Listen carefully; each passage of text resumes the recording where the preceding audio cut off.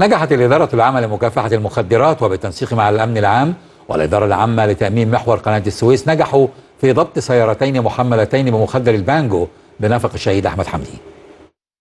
كل السبل يسلكها تجار المخدرات لإخفاء بضاعتهم غير المشروعة عن أعين الشرطة. هنا حاول عاطلان إخفاء كمية كبيرة من مخدر البانجو داخل سيارتين نقل محملتين بالأسمنت السائب لتهريبها من شرق إلى غرب قناة السويس بنطاق محافظة السويس.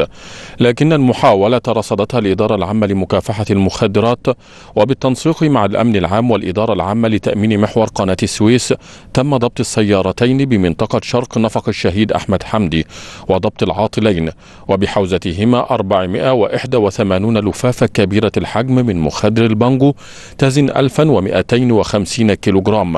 بقصد الاتجار تم اتخاذ الإجراءات القانونية حيال الواقعة.